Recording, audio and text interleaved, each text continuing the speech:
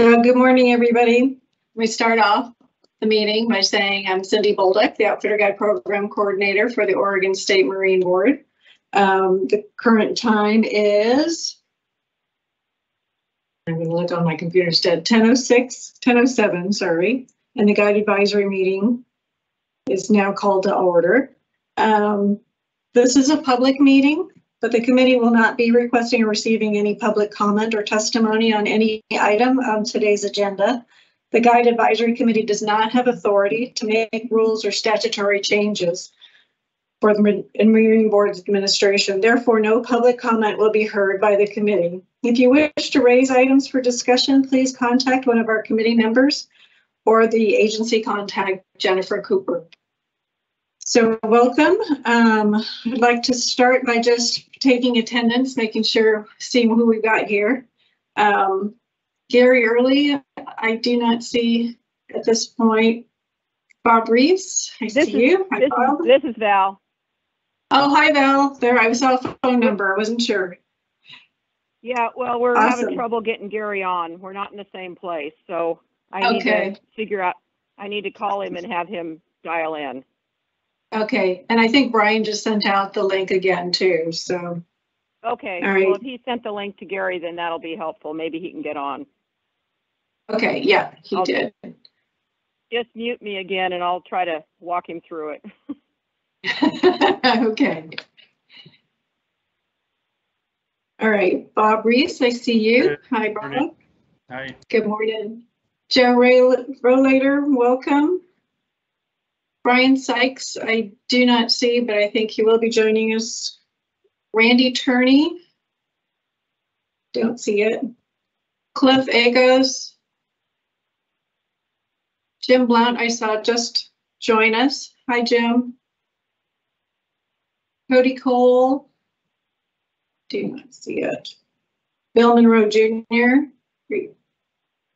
Bill, are you Good still morning. calling? in? Good morning. Yes, I do not have that, that link, my, my old, um, Teams link is not working. I, I'll wait for the, you can send it whenever and I'll hop on whenever. It should be coming from Brian, Brian Paulson. He just sent out the links to everybody again. I Okay, did send cool. it out, Cyndi. Thank you, Brian. Jason Schultz, hi Jason. Good morning. Good morning. Mia Shepherd, hi Mia. Val, and then Brian Paulson and Sergeant Galusha. Brian Paulson, present by video. Hey Cyndi, I'm I'm present. Hi Clint, thanks. All right, our first item is the approval of the minutes of the last meeting. Hard to believe it was uh, February 15th, so unfortunately almost a year ago. But any, are there any comments or edits needed for the um, minutes for the February 15th meeting?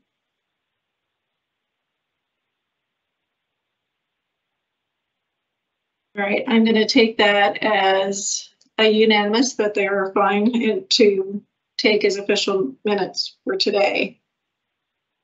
Um, I will do my usual renewal wrap up or roundup update for status of last year and then how we're doing so far this year.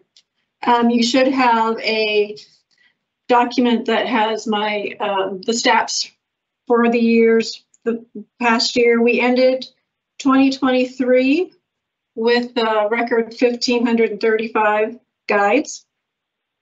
That was uh, 69 over the previous year. And we had 215 new, never before registered guides. Um, It's been 150 to 190 last year. You actually can see there's a new little chart on the bottom right page of the stats that shows the growth comparisons. So we had about fourteen percent of our guides as brand new. That's kind of right in line with the eleven to thirteen we've had percent change in the last five years. Um, our fifteen thirty-five was a four point seven jump, percent jump, which isn't as bad as the growth in the couple years beforehand.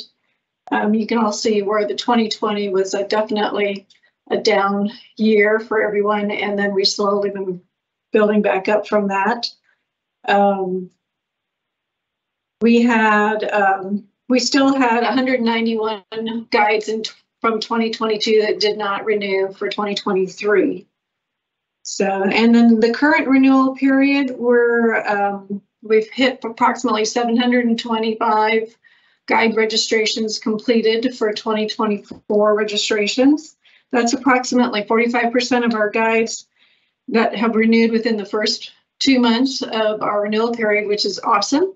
Um, well, they've been coming in fast and furious on online, which is what we prefer and it's wonderful. Um, we have 33 pending documentation to pending documents, like they are still waiting. We're still waiting for documents from them. There's 115 in our queue. Uh, we're currently working on December 29th uh, applicants, so we're still within our 10 day, 10 business day processing window. And there's about 600 from 2023 that have yet to renew. So like I said, about 45% of the total guides, over 100 of them are June 30th renewals that we won't be tackling until later. So we've uh, we've crossed the halfway threshold really for for 2024's um, issues that I've seen. Um, while we're still 25% ahead of last year's uh, renewals, we've done a lot of process improvements. Um, we continue to battle that 10 day limit um, when they come in faster, which is great, but it puts the, the, the uh, job on us, the burden on us to get those back out the window quickly. And Naomi and I have been streamlining and working with Brian to do as many process changes as possible to make it as efficient and quick without sacrificing um, accuracy. So hopefully we maintain that. Um, and then other than the usual complaints that trickle in, we, um, you know, it's full steam ahead with renewals currently. Any questions on where we are, where we, what we did last year, where we are right now?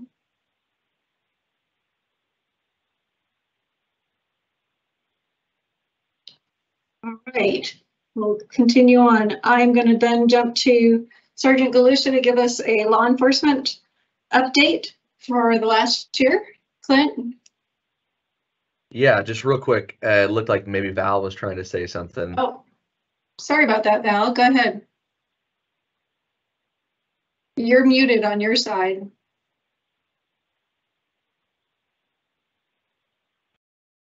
Oh, maybe not. I will. Okay. Uh, I will just get started. Um, I'll just update everybody just kind of how our unit operates and and how we work with the Marine Board. But um, I'm Clint Galusha. I'm the sergeant of our Special Investigations Unit with the Oregon State Police, and we have uh, five full-time detectives in the unit. Three of them are funded by anti-poacher dollars, and they are regional positions. So we have a Northwest, uh, a Southwest, and an East region position. We have one detective uh, paid for by a DEQ, and so that is going to be environmental offenses. And then we have one full-time position paid for by the Marine Board for guide and outfitters. So my unit does get uh, tasked with assisting on a lot of different things around the state. And even though we have one position paid for through the through the Marine Board for guide and outfitters, we do tend to um, break up those hours, which is about 1,700 hours um, per year, just due to the fact that the guide complaints come in from all around the state, and that the the one position couldn't couldn't possibly travel without us uh, splitting up those those hours. So that's kind of how we do it. Uh, we keep track of these these hours. Um, for 2023, uh, I kind of try to keep a, a a track of just the complaints that are coming in um, from either the the the Marine Board, um, the tip line, the OSP tip line, uh, or just field complaints, whether it be from the state police, the county, uh, or federal partners like the Coast Guard. Um, but for 2023, I had about 53 total complaints. Um, they they range in complexity. Um, they could be a, a false application for a guide's license to the Marine Board, all the way to uh, poaching while guiding, uh, or just guiding without a license, as most of you are familiar with and um, are aware of the significant impact to your business. Um, out of these 53 complaints, we have currently arrested, cited, or referred for prosecution or are attempting to cite uh, for arrest 17 different individuals uh, for 2023. For 2022, we had 43 complaints uh, come in through various means and had cited 10. Uh, I don't know the bleed over, so out of those, you know, there's still, you know, 30 or 27 outstanding complaints from 2022. Some of those are going to bleed over into 2023 and then bleed over into 2024. So there's kind of a rolling um, uh, amount of cases that keep compounding. But out of these 53, uh, we had 17. One was for forgery and guiding without a license. One was for forgery and false application for a guide's license. We have seven false applications for guides licenses. Um, we've had four guiding without a license. We've had four guiding uh, other crimes offenses, so it could be some combination of guiding without a license and or poaching, um, baiting bears, uh, unlawful takes. We've had various uh, guiding offenses uh, while guiding. So, and then like I said, in, in 2022, we've currently uh, are awaiting trial or uh, are still trying to locate some warrants. Um, but anyways, that's kind of in a nutshell um, the cases we have currently. We do try to put any uh, significant case uh, resolutions through the court system into the newsletter, and so that's probably one of your best spots to see some of our uh, our better outcomes from the court system. We, uh, as a as an agency, um, take all these complaints seriously, and and but mostly are a reactionary unit, just due to the nature of having one person and uh, the amount of complaints that come in from around the state. So, um, yeah, I think that's Cyndi about everything I wanted to uh, touch on. Uh, one thing I wanted to say is that the the UGA fund, we've been able to uh, get a lot of dollars back into that fund, and um, that I think has been a, a big benefactor and has uh, helped generate some more complaints. And I think it's working. And so um, we are currently looking at possibly getting a, a significant outcome into that UGA fund. And so um, I'm hoping that it'll self-generate for quite a while with with what we've had coming in. So anyways, appreciate it. Right, thanks, Clint. That's uh, so true. We'll go over the TIP uh, fund that's being held by UGA, Oregon Outfitter Guide Association, um, a little bit later in our agenda. But uh, first, I guess, anybody have any questions for Clint? Go ahead, Bob. Uh, and I don't know if there's a raise hand feature here or not, but I'm happy to play by the rules if that's the case. I just can't find it on here like uh, Zoom, but um, I don't know what's appropriate. I've had several members ask about a particular guide and what is the status and should we be reporting uh, him if he's guiding. So I don't know if that's appropriate to bring up here. Ha- Not, I don't have a problem doing that, or if I should do that o- offline. But I do have several of my members asking about um, a particular person. So Yeah, probably probably offline just due to the public nature and uh, the the business of investigation. It probably wouldn't be pertinent to do it in a public setting, but um, but yeah, offline if you want to reach out to Cyndi or myself, and and I could probably give you an update on on whatever it is you're looking for, Bob.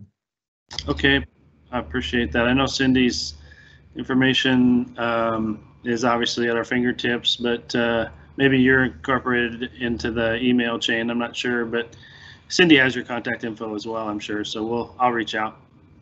Yeah, that's typically how I how I do get um, uh, a lot of the complaints will be filtered through Cyndi, if if not through Oregon State Police or the Coast Guard or something.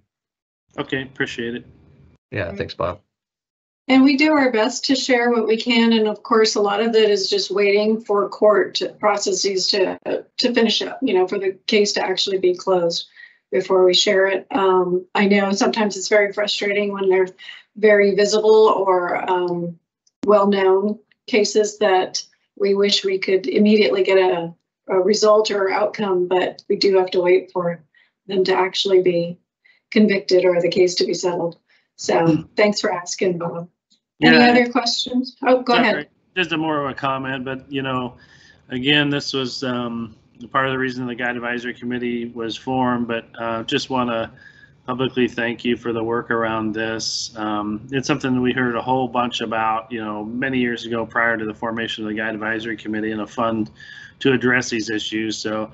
Um, I think you even had some of this in um, the agenda, which I ha- I haven't reviewed this morning, but um, you know, do you guys have enough resources to feel that, you know, what, what we've been trying to accomplish over the years is funded well enough to get the work done? Or, you know, I, I know this is a time of year, given we're in short session and long session is still, you know, over a year away, but um, we just want to make sure that, you know, the bases are covered. We still think it's a, speaking on, on my own behalf, think it's a doggone good deal for the services you provide that we pay just $150 for our guides license. So I just, you know, whether that discussion happens now or at a later date, want to make sure you guys feel both at the Marine Board and at the enforcement level that you have the resources needed to continue and, and if needed,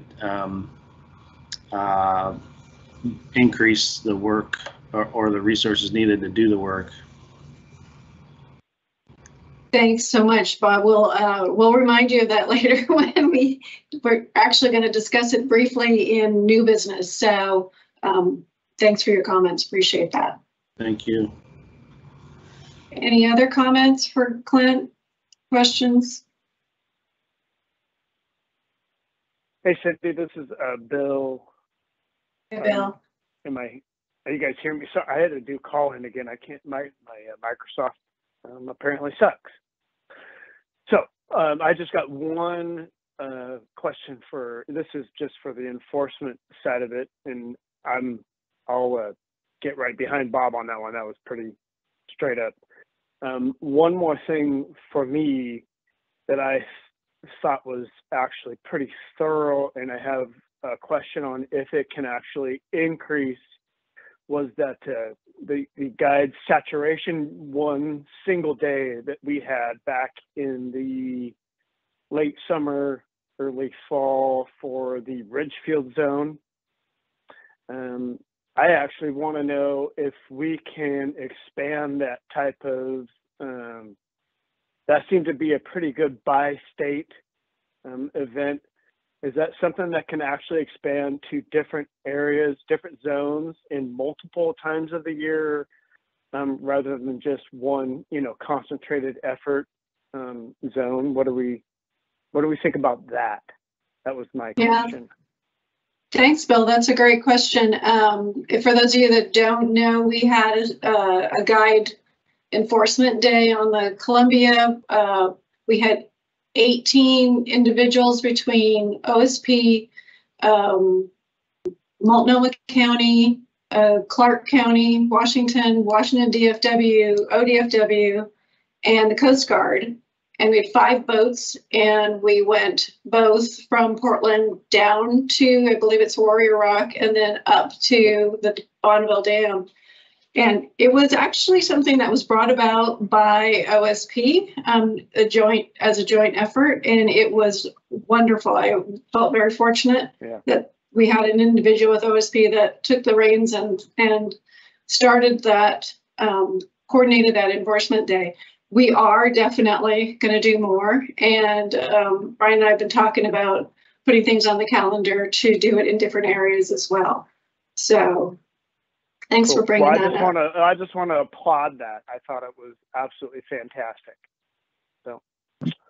Yeah, Okay. just uh, just just so you know, we're we're aware that it was very successful, and um, we are looking for more of those partnerships moving forward. And we have a pretty good contact with uh, the Coast Guard, and we rely heavily on Cyndi, and uh, for those for those local uh, Yeah. county marine patrols. And so, yes, uh, we are looking at doing more future. Cool. Well, let's get that down into the estuary. I think it would be much more poignant, you know, with people getting out into the ocean with equipment that may not be subpar, you know, all sorts of different variables. That uh, that Ridgefield zone was great for an in-river inland day, but man, we get that into the estuary and start looking into a bigger picture thing, that's, that's pretty, that might get some people to actually pay attention, which is great. Yeah, Val, you had a question.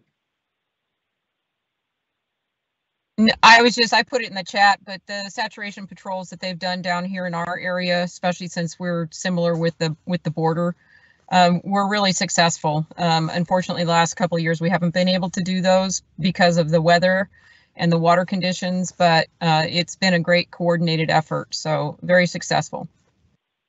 Great, thank you. And Brian? Thanks, Cyndi. I just was gonna add on that, on that specific outfitter guide special emphasis patrol that was held. Um, there was twenty-nine guide boats that were contacted and eight recreational boats in which there were seventeen citations and twenty-two warnings. So pretty, uh, I guess you could say slightly disappointing on the compliance. Um, and, in, in respect, we also do a lot of spec- special emphasis for recreational uh, boating safety, uh, including on the sleds, um, the Tillamook Bay area, even on in drift boats. So we don't necessarily focus on outfitter guides for those special emphasis, which we make you know hundreds and hundreds of uh, boater contacts during that time. But we do uh, do make contacts with guides during those those specific special emphasis um, this past year and the year prior.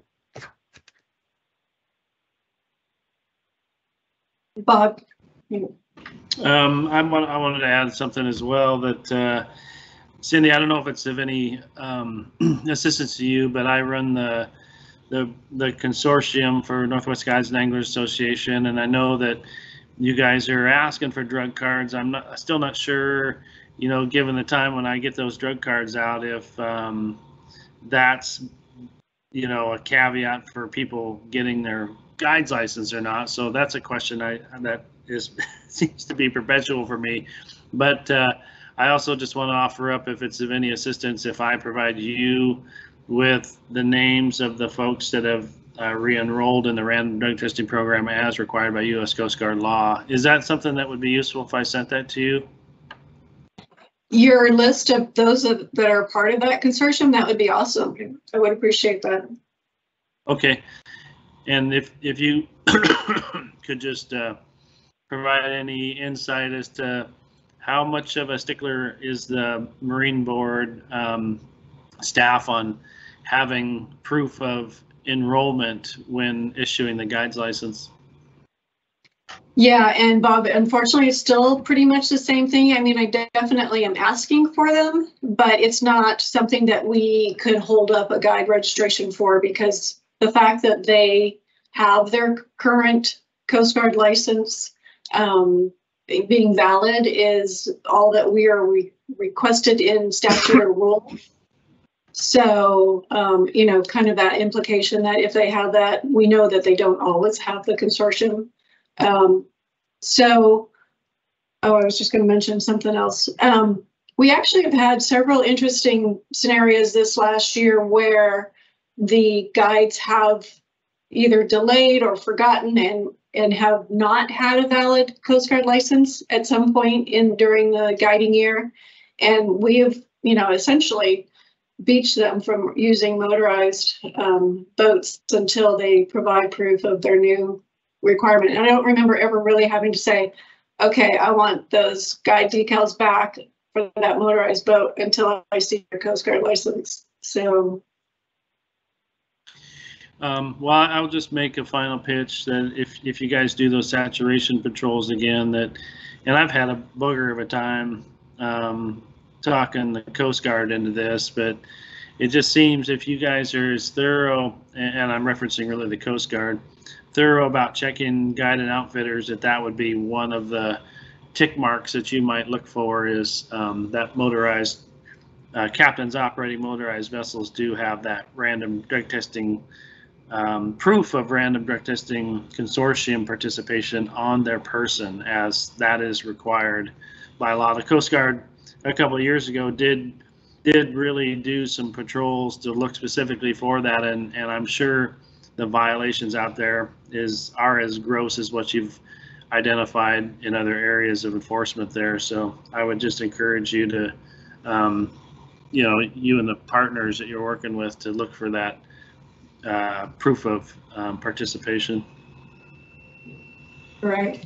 Yeah, that's, that is currently on our list, so we will keep working towards legislation changes. So thank you, Bob. Thank you. If there's nothing else on enforcement, we will move on. Um, and speaking of, Clint made a good point about the number of complaints that come in through the tip line or through us or other sources.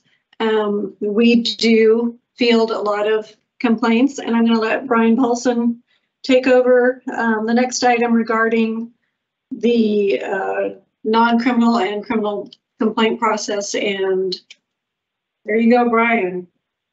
Thank you, Cyndi. So, uh, this is, this is part of old business, uh, and just kind of a, a little bit of background to get everybody up to speed since it's been a while, but, uh, the Marine Board members directed agency staff back in January of 2023 to review the current ethical and professional standards and develop a formal complaint process to better address, uh, more specifically, non-criminal complaints. One of the challenges at that time was that our agency was receiving non-criminal complaints about outfitter and guides from the public, um, other outfitter and guides, and then also agency partners for um, a multitude of alleged behavior from uh, conduct on social media, uh, offensive interactions between guides and and the public. So, uh, in rule, uh, you know, the Marine Board, with input from the Guide Advisory Committee, uh, will take recommendations to, you know, encourage the high standards of ethical conduct, you know, customer service, uh, safety, and then, you know, natural resource protection. So, uh, outfitter and guide ethical and professional standards, those are in rule. There's 12 standards. Uh, there's also the piece on if an outfitter and guide's registration, license, permit, or certificate suspended, revoked, canceled, or denied by another state agency or um, agency of the United States, so like Coast Guard license, then then that'd be a violation as well. So there was discussion during the February 2023 Guide Advisory Committee meeting, which was um, where we discussed more specific concerns about revising the standards to incorporate things on social media uh, or defamation. Uh, this was this was perceived at that time and potentially more of a civil matter than really an ethical matter for an occupational license like the Marine Board agency to consider taking action on that time. So following the, the Guide Advisory Committee meeting in February 2023, uh, agency staff, essentially Cyndi and myself, uh, formalized the complaint process. We formalized an adverse action sanctions and then the discipline model worksheet. Um, that uh, complaint process was included in the board book in April of 2023, in which that's a publicly available board book that's on our agency website. Um, since March of 2023, we've uh, implemented that complaint process in which we have specifically applied that process to eight non-criminal complaints. Uh, most of those complaints are allegations of unprofessional conduct, uh, abusive language, or waste disposal, whether it's human waste or livestock waste. So um, I would open it up to discussion if needed, but we did provide uh, those formal uh, processes in the in the Guide Advisory Committee materials today for review. And thank you, Brian. The, for those of you that are within the last, joining us within the last three or four years, you probably have not seen the more formal um, administrative action complaints, such uh, scenarios and the matrix that we use for determining our um, administrative actions. And it's good to review and if, you know, of course, if there's any input you have, we'd appreciate it. But we do try and make it as transparent and consistent as possible, that we treat everybody in the same um, manner and through, go through the same process. The non-criminal complaint system, having it be more formalized, um, has been wonderful. It's uh, it's much easier for me to follow. We have templates for responses and timeframes for asking, you know, the guide to respond to the complaint and then forwarding that back to the complainant. So uh, if you you know, have any questions about it, any, uh, please speak up. I appreciate any comments.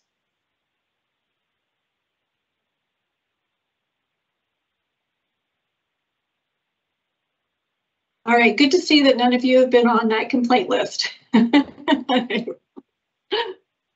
All right, next, um, also. Give us old time. No, Val, you've had plenty of time. You're not getting there. Cyndi, sorry, uh, sorry to interrupt, but, uh, I assume if, if a complaint is lodged against a guide that, that you, I assume maybe you probably notify that guide, like, we would, we would know that. So in it, it, just a real syn- quick synopsis is that if we receive a complaint about a guide, we forward that complaint to the guide with a request for a response and kind of outlining our concerns. Uh, you know, where it, it specifically contradicts, um, the alleged, alleged complaints, um, specifically contradict our ethics or actual statutes or rules. And they're given usually two weeks to respond. And we, Brian and I review the response and take between, you know, the actual complaint letter and the guide's response, whether or not it was substantiated as something that, or something that we can take further action on. And um, out of the eight that we've gone through this formal complaint, we've had one complaint withdrawn, which was wonderful after mis- misunderstanding. And then the others, seven, were found to be not substantiated or not anything that we could specifically take action with. So, um, knock on wood, I've not had anybody, anybody that made the complaint come back with any response in return to that. So, I I would also offer up Cyndi with the one that was withdrawn. It seems that this process has really shed light on being a win-win because it though no though we haven't taken any action on the specific complaints from this last year, it's definitely put the guides who've who've had the complaints against them in check in regards to that that he, here's the ethical and professional standards. This was the complaint against you. Um, and, and I think it's it's really been a win-win because they they might get a little bit of a tune-up from the conversation. Yes, and um, to reiterate, the the uh, the guide does know that the complaint and the response is entered into their file. It's kept on file with them. And again, these are for um, non-criminal. Of course, anything that is criminal, we immediately forward towards Oregon State Police for Clint and his team to um, to review and investigate. So, Val, go ahead. I'd just like to say thank you to you and Brian for putting this together. Um, I think that um, in the future, we're going to see uh, benefits from this, not only for perhaps public, but other guides that are complaining. And, and it's a process. And I just uh, really appreciate you going to the extent that you have and implementing it as well as designing it. Thank you, Val. Appreciate that. All right.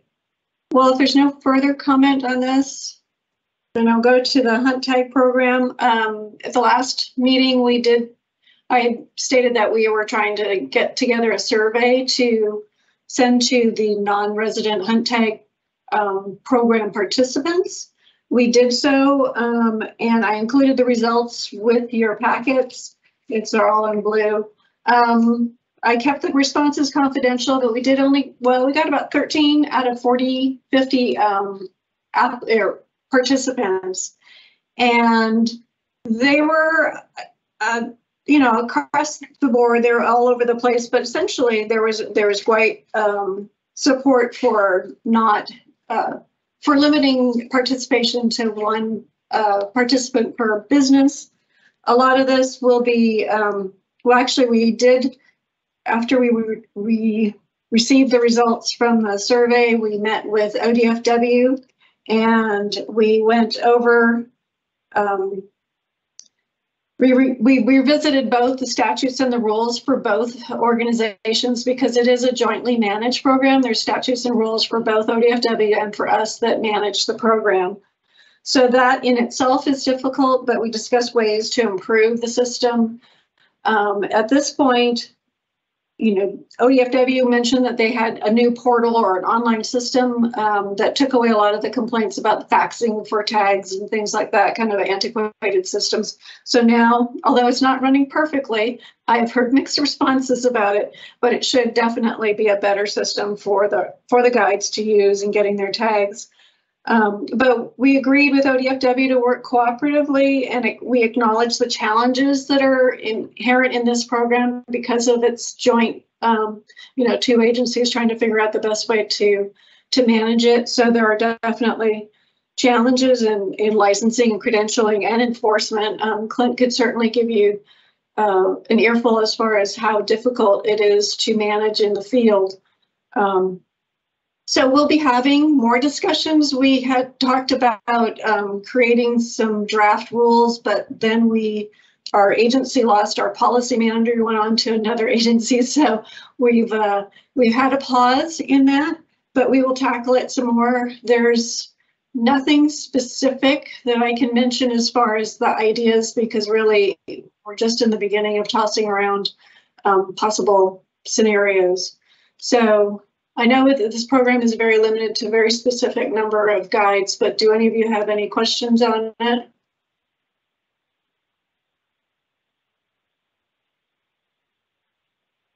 Nope. All right, on to the next, thank you. Um, tip program update. So the Turn-In Poachers program that we joined last year. Um, thank Brian Sykes for being our managing the funds. And he very nicely gave us an update on the, on the, um, the tip fund that is held. The, you know, as an agency, we could not hold the money. So, um, Brian and Oregon Outfitter Guide Association generously donated their checking account and time to, to manage this. So we started the program at the end of 2021. The both, um, the OSMB and UGA donated an initial pot of $2,200, $2,400 to start. We've had three rewards checks go out, and the rewards at this point are $200 for a for a tip that uh, leads to a citation. It does not lead, have to lead to a conviction, but I do believe all of these did. Um, and then uh, we have had five checks as far as fines or restitution come back to us from the court systems to add funds to our system. So we're actually $800 ahead of where we started last year. Um, Clint, do you want to make any comment as far as how this has affected your work? Yeah, I think that it's uh, I think that it's working. We definitely are getting uh, some tips. We have been able to pay out, uh, like you said, on some. Just should note that uh, when when we get a tip, we do put them in for restitution to be paid back into the the tip program. We've been doing that for a while uh, with the uh, OHA, with decoys and stuff like that. So uh, we've been putting them in for the restitution, but how we get ahead is uh, a, a complainant doesn't want to be put in for the reward or wants their um, basically they feel like it'd be better for them to remain confidential altogether and they didn't want uh, any part of the reward. So uh, anyways, that not everybody has accepted the reward money, but um, some have and but in either case, we've still been able to put people in for the restitution amount. And for those that are interested, they are, someone who turns in a tip is, um, is able to get both an outfitter guide tip reward as well as an OHA points or, uh, funds. So they can double up or, um, the rewards if it, if it applies. And Brian, do you have any comments for Brian Sykes for, um, as far as from your end of things? Um, no, it feels good to send those checks out when we, when we can. Yes, But- that's awesome. Yeah, Yeah, it's easy to manage on our end. Well, thank you. Certainly appreciate it. Um, any other comments? I think uh, Clint did mention earlier that um, there is some anticipation. We have heard rumors of a larger uh, fine being deposited to this tip po- poacher, turn and poacher fund. So hopefully that does take place and we'll let you know about it when it does.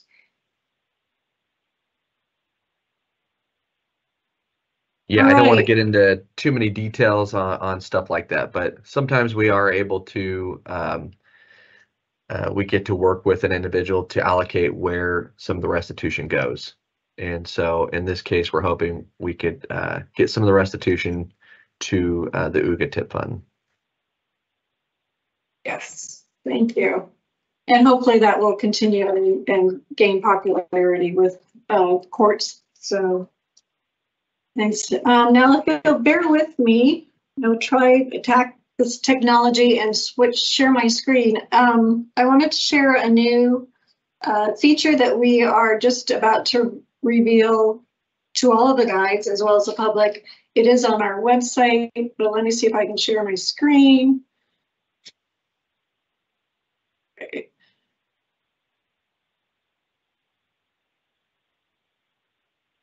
Oh, there it is. Thanks.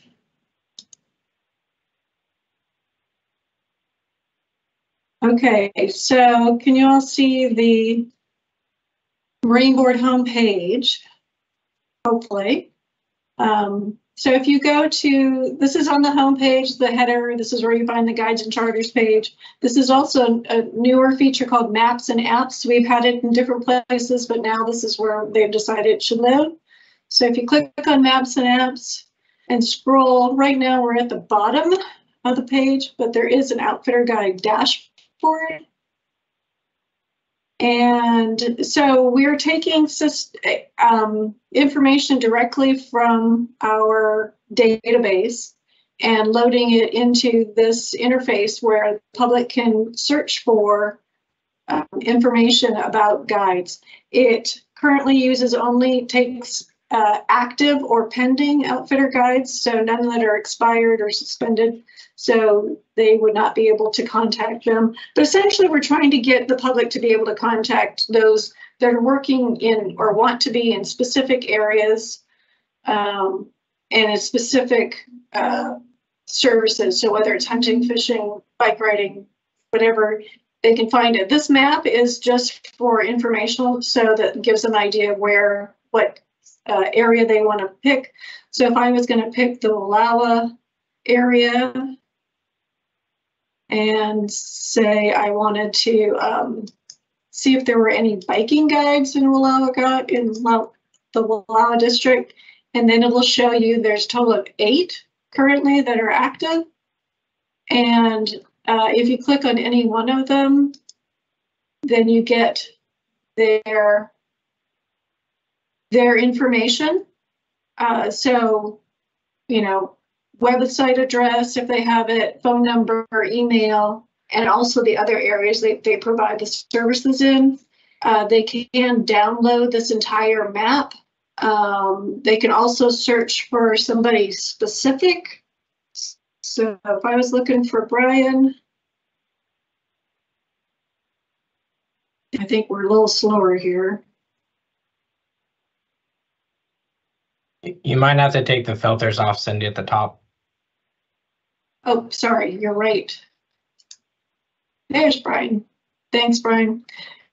Brian, here's Brian. Um, yes, so you get all the information right away. I will let you know that we are not putting employee information on there. So some guides have registered uh, deckhands uh, that work or whitewater rafting guides may have individually registered guides that um, do some fishing for them. Those guides are not on here. We really wanted to direct the, the contacts to the owner or the primary person. Um, so does anybody have any questions about this? This is live on our website. It gets, the information gets refreshed monthly currently. Um, So right now it is limited to this, I think there's about eight hundred guides on here right now, but as they renew, they'll be added back in. So. I can't see anybody, so if you have any comments, just speak up.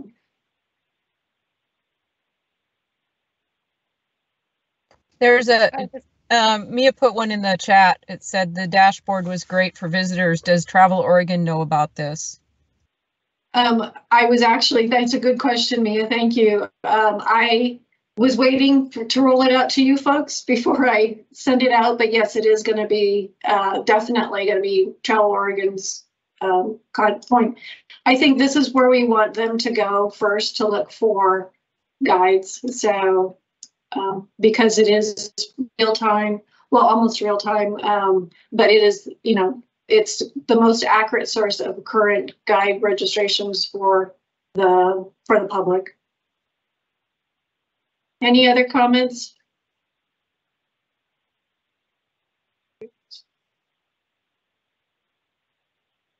Okay. I'm going to stop sharing. All right, I think we're back. Um, oh, I shouldn't have stopped sharing because it, if there's no, if there's nothing else about that one, I did, I was in a meeting with, um, Washington Department of Fish and Wildlife.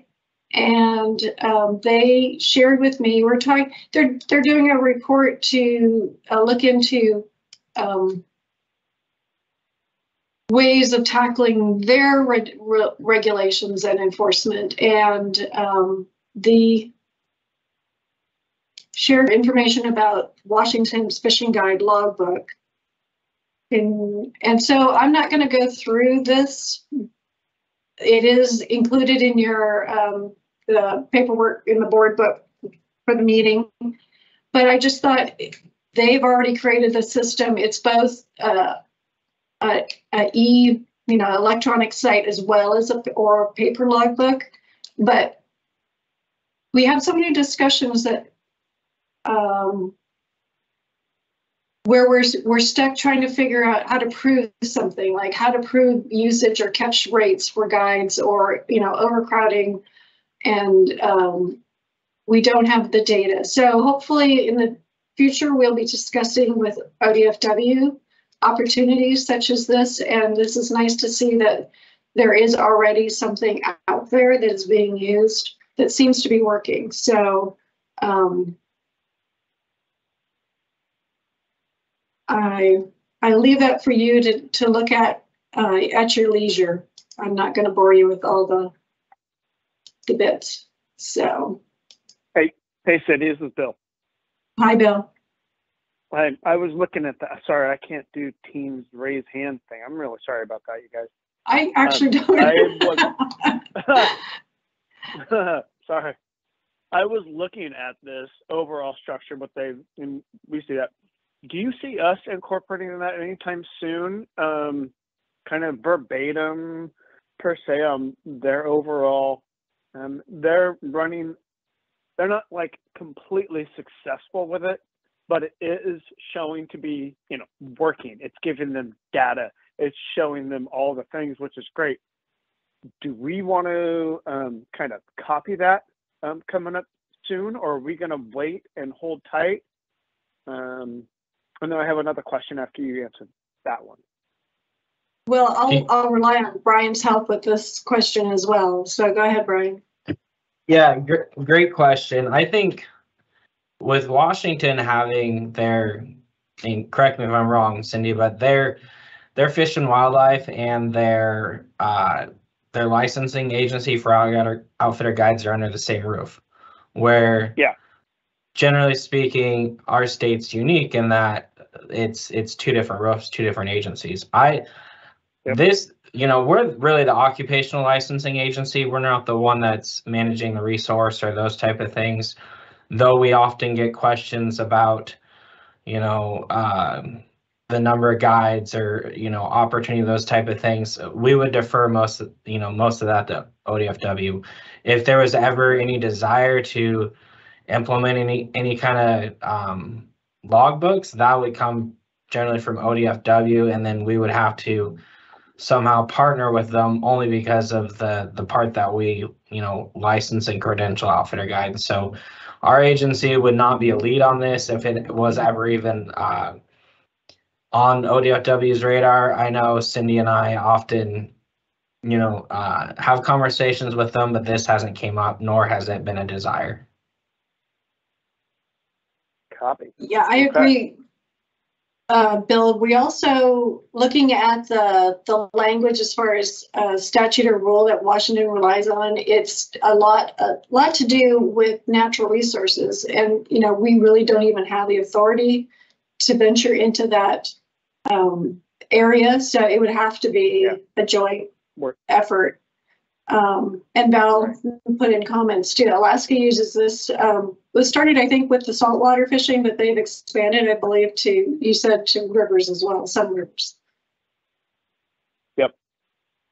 Okay, great, great feedback, Debbie. You are correct. Yeah, Washington, Washington does have the, the authority for, for like a resource-based rulemaking where we, you kind of don't, but ODFW does. So that would be, uh, that would be a real, that's gonna take some undertaking. So I get it. I just, we It's want to challenge. anticipate what we need to kind of like judge for in the future on what our needs are going to be or what the overall what we're going to try and at least tell to our youth, Bob Reese and, and I, we speak to a lot of people, um, guides mainly, and we want to say, hey, this is coming. Um, and if it is, that's something that ODFW probably wants to partake in because they're seeing a lot of complaints about, you know, guides' faults for this. It's guides, the guides are, you know, guides are ruining the world, they think. And that's just, that's just not the case. The, the department does see it that we take out the people who don't have access to resources that otherwise want to have access to. They buy licenses, blah blah blah. You already know. Um, so Right. that, that's great. So That was- it's interesting to see, you know, how different states deal with the different, um, you know, issues to tackle. I know Jason with Idaho, I mean, really the, your outfitter guide agency regulates the number of guides and where they can fish Yeah. and all of that. Correct me if I'm wrong, Jason. I would just recommend to keep, if you're gonna implement any paperwork, you gotta simplify things. The Washington logbook's are a real pain. Um, They're complicated, yeah. you take me, for instance, I launch in Washington, travel up through the corridor between Washington, Idaho, cross into Oregon, where then I'm in a special use permit area. So I have Washington paperwork, Forest Service paperwork, now Oregon paperwork. It's getting to be too much. Um, I'm not an advocate for these logbooks. I think they just, for one, we don't have uh, good cell service and stuff in a lot of the places for us to use an app. We have adverse weather to try to fill out paper logbooks in the rain sometimes. It's just really a hassle. And I understand they're they're trying to collect data for some reason, but if my my advice would just be keep it as simple as possible to take some of the burden off of your guides. It is really a pain to do in the dark, in the morning, when you're trying to get started. And I understand the the idea behind it, but let's keep it simple. Mhm. You know, Brian and I were talking about uh, getting uh, joint, trying to piggyback upon ODFW's um, e-license and whether or not, you know, a guide could scan a QR code from a from a client and then just claim, you know, whatever the client tagged in that uh, scenario as, you know, a guided trip. So, I mean, things like that, you have to, we- you're exactly right. Try and make it simple. Yeah. Val, do you Okay, want to? Cyndi, I have, I have, Oh, sorry about that. go ahead, Val. I, I know I cut you off earlier. Copy. Okay, and then my last question, when you said you had this other meeting with Washington, on the Washington side of the Washington Guides Association, when we started the Columbia River chapter, um, we haven't been able to make any headway with um, legislation on the below Longview Bridge thing. And you know, I've just all I do is I talk about that, blah blah blah. But did they mention that to you? Did you mention it to them? Is there any talks about um, trying to open that back up per se on a movement, you know, down to like the Astoria Bridge, something, you know, something that would. Bill, all I've, all I've seen is just where they've gathered the information about other states in the Northwest. So I have not. Seen any, you know, any direction that they want to go in. Huh. Okay, At least that's, they haven't Okay. shared that with me yet. So let's just say that. yeah, Okay. okay. Thanks, Bill. Val, I know I did cut you off several times already. Go ahead.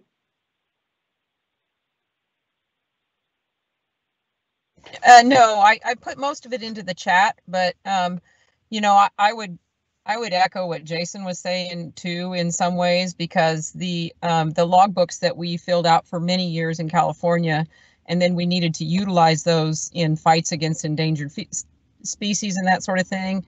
They deemed our, our data to be invalid because it was not reliable. So they wouldn't utilize any of the data that we had submitted. And I don't, I don't know how agencies feel about that. We ran into a similar problem up in Alaska when it came to using the data from the logbooks on the river to be able to get allocation. So, you know, I, I honestly, I'm not a huge fan of the logbook. Uh, It just depends on what you want to do with the data that you're trying to collect. Okay, good point. Thank you. All right, like I said, that was for your, um, you know, review on your own time. Let's move on to, um, it, this sounds like a big topic, but really it's just a small topic. It's the evaluation of fees. Um, I'll let Brian speak mostly, but we really, Yeah, you know, go ahead, Brian, sorry. yeah, no, thanks, Cyndi. I just kind of more just purely informational in that, um, you know, our agencies, agency staff's gonna be evaluating our outfitter guide program more for like a viability standpoint. Um, just to be kind of transparent, our current fees and fee structure, those outfitter guide program fee revenues have not been reaching what our um, budget that's been approved by the legislature expenditures are, and that's specifically the outfitter guide program. Um, but it also doesn't meet, you know, our obligation for the enforcement contract with Oregon State Police. Um, this is something that we'll be working through the next year.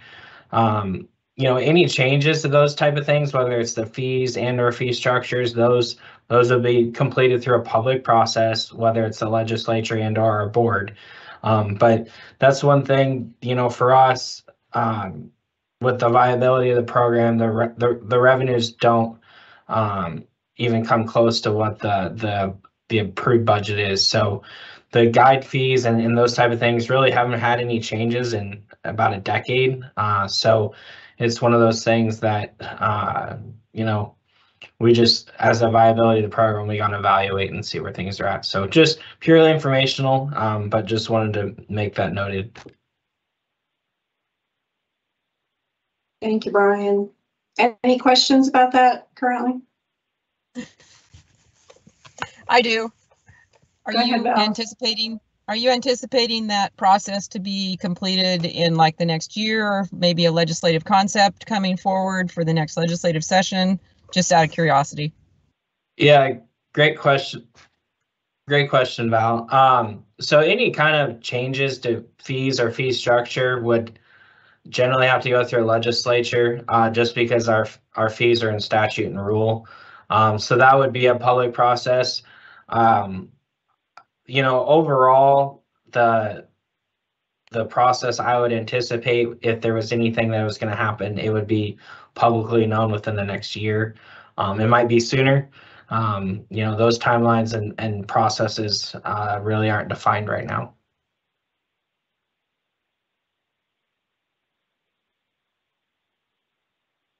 All right, any other comments? Uh, Bob Reese here. Um, you guys, do you know how under met, if that's appropriate term? Um, what's the discrepancy between what we're paying out for fees and what you're spending? Like, which would in turn give you an idea what you would model for a fee increase? So, uh, I don't, I don't have that information available, uh, to disseminate. I, the, you know, the, the one thing with our fee structure, for example, uh, we charge, uh, a specific amount for non-residents that's different than residents. You know, there's, there's a lot of different ways that money goes in and that's all something that we'd have to consider as well, right? So we've seen outfitter guide uh, registrations increase. Um, we also see a lot more uh, people having employee lists, right? So we just we just got to balance, and and it has to do with actual costs. It's not like we're going after fees that are a tax. It's it's literally fees that are the actual cost. So um, as information is available, we'll definitely share it with the committee, but I don't have that right now. Thank you. Yeah, we'll be bringing this information to you as, as we um, start to discuss it more. So, but early days, thank you.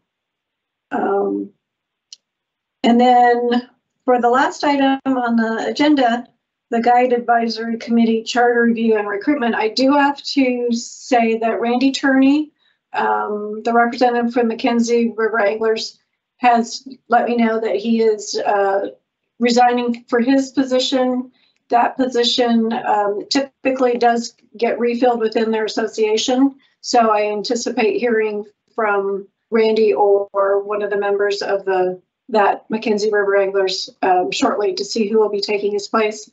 And I'm also sorry to say that Jim Blount let me know that he's not been guiding lately. Jim, thank you so much for being with us the last few years. I appreciate that um, and your perspective for the non-fishing, non-hunting guy, which we don't see too much of. Um, I appreciate you taking the time and being with us. Um, and if you, Brian will talk more about recruitment and the, the charter, but if you have any uh, nominations or people you'd like to put forward, we'd always appreciate hearing from you. Yeah, thank you. Um, it's been a pleasure being on the committee, and I don't have any nominations uh, at this time, but I will think about it and see if I can come up with some people. Thank you, appreciate it. All right, Brian, you have, um, I know we've talked about this many times in the past. We've never actually formally adopted the charter. Brian has put it into a much more legible, readable format, um, which was included in your packet. But Brian, go ahead. Yeah, thank you, Cyndi. So the the Guide Advisory Committee charter, it was it was drafted back in 2014, but it was never formally adopted. And I'm sure there's people on this committee now that were really the, the foundation to, to formulating that. Um, so agency staff, myself and Cyndi, we've we've completed the the the charter. We've formally adopted it this month. Um, it's provided in the committee book, which is also uh, available to the public via the public meeting page on the agency website. Uh, so just wanted to go through the charter. Um, and I can share my screen or you can look on yours appropriate. What would you prefer, Cyndi? Um, does everybody have their information that they need or did they review it, were able to review it? Okay, Brian, go, just go ahead and go over it. Yeah, so uh, the, the charter has 11 sections, if I recall. Um, it's going to have the purpose of the Guide Advisor Committee. It's going to have the authority, which is in statute and rule. It's going to have the duties and responsibilities of the committee. Uh, the committee composition, which uh, is which is in statute and rule both. Uh, it has the frequency of the meetings, the objective of committee meetings, meeting agenda, uh, minutes of the meeting, reporting, uh, committee performance evaluation, and then the tenor of committee members, or essentially term limits. And that's that's the thing that we really uh, got to hone in on today is that there's there's folks on the committee that have uh, surpassed their term limits, and and one of the things that we'll be doing uh, is having to recruit for that. So recruiting for the guide advice committee, that'll be a public process where we'll send out um, uh, a public notice. We'll have an, a form to application to fill out and then uh, that'll uh, hopefully we're not going to have half the committee that has to turn over this year, but uh, we'll, we'll definitely be um, very strategic on how we do that. So is this when you want me to pull up the term limits, Cyndi, or? Yeah, go ahead, Brian. So let me see if I can share my screen. And just give me a go ahead, Cyndi, if you can see that. Yes, we can, we see it. All right, so I I put together this quick sheet that has uh, essentially member terms in which, and then it also has the the membership types. So there's very specific uh, descriptors, whether it be a public member or organization member. Uh, as you can see, we have uh, the public member for the charter, which it's it's very specific that that can't be more than one that needs to be filled. Uh, we have uh, Oregon Outfitter Guide Association, that w- member that'll need to be filled. We'll have a Northwest West Guides and Anglers uh, vacancy, McKenzie River Guides, South Coast Guides, and then one other organization uh, member of the the the advisory committee that we'll need to fill this year. So as you can see, uh, as you go down the this list, it shows the membership type, which can be referenced in the charter. And then it'll show the representation region from that specific organization or um, that tag via public. And then it also has the member name and then, you know, their their tenure. So um, I'll let you take it from there, Cyndi. Uh, my my plan is to to send out the notice to recruitment uh, in the next month uh, and and have uh, you know that set in place before our next meeting. Thanks, Brian. Yeah, and you know, unfortunately, this meet is a huge hit to us as far as uh, historical reference and just experience. And um, I know all of you that have been on it since 2014 knew this time was coming, but we will be missing, hugely missing you. Um, but yeah, we're hoping uh, those that are members of the association can either put forward um, members for nomination or um, for our consideration. And those that are not specifically tied to a guide association, uh, whether we can, you know, at large, we can come up with something. We, um, yeah, I, I welcome any comments.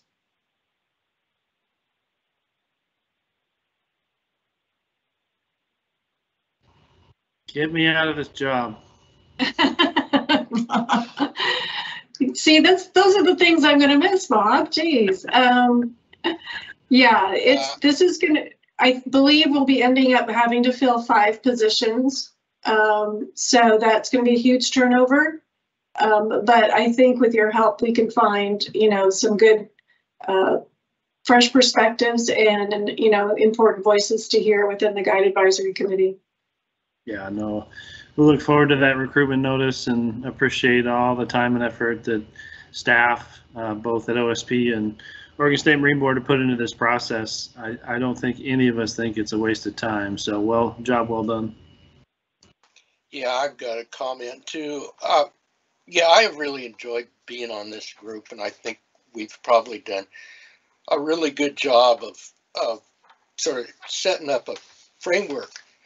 Um, I know I fish on the bar on the LC all the time. I work with about five or six different guides. I'm on the uh, port commission, um, but I'm retired, and I want to get I, just like Bob. I want to get replaced. Thanks.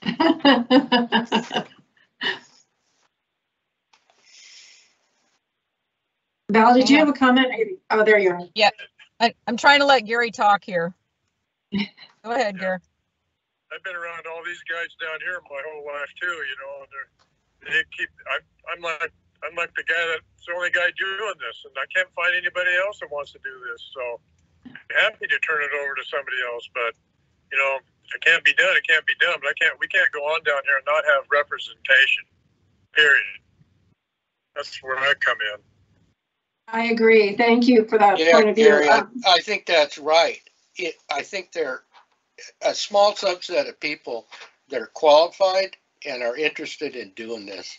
So, uh, I think we need to, to work really hard to find some replacements, but I don't think, it's like, like down in your area, I just don't think you can not have a representative on the guides guides stuff here at the. Gotta have Marine Board. We gotta have one. Yeah, no, that's certainly a high priority. Yeah, Well, I would we just can add, help.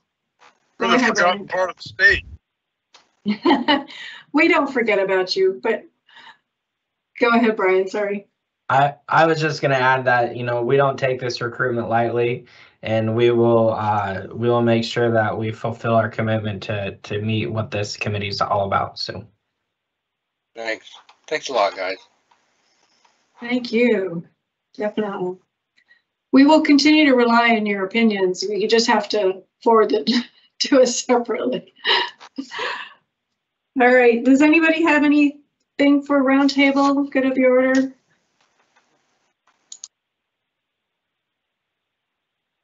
I am anticipating scheduling another guide advisory committee meeting for April. Hopefully before things get too busy for everyone. Um, I will pull, put out a doodle poll like I did. It seems to work, um, for the most part. So, uh, I appreciate you participating in those things, but if you have any month-long vacations or something, let me know and we'll see what we can do.